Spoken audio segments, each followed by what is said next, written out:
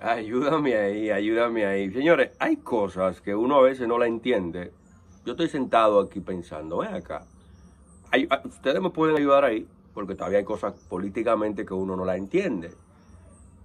El 10 de octubre, o sea, estamos hablando hace siete días, 10 de octubre, el presidente, el expresidente de la República, Danilo Medina, dijo que validaban un padrón en el PLD de algo más de un millón de personas. Dijo Danilo Medina que validaban un padrón con algo más de un millón de PLDistas.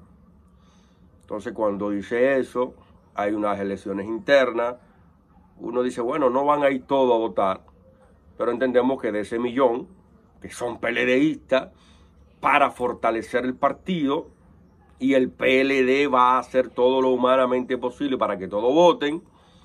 De ese millón vamos a esperar que voten 750, 800, porque hay gente que no le gusta salir de su casa, que son vagos. Pero eran unas elecciones abiertas y sabemos que cada candidato trató de conquistar personas que no son PLDistas, que no pertenecen a ningún partido, para que también votara buscando la, forma de ganar. O sea, yo entendía que para las elecciones de ayer el PLD iba a tener un promedio de 900 a un millón de personas que votaron.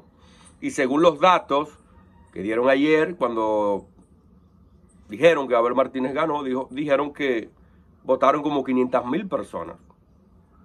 Pero recuerden que de esas 500 mil hay una cantidad que no son PLDistas. O sea, no me cuadra entonces.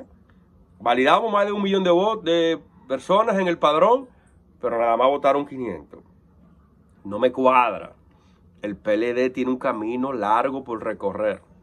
El PLD tiene que ponerse las pilas para poder pelear en las próximas elecciones con el PRM y la Fuerza del Pueblo. Ayúdame ahí.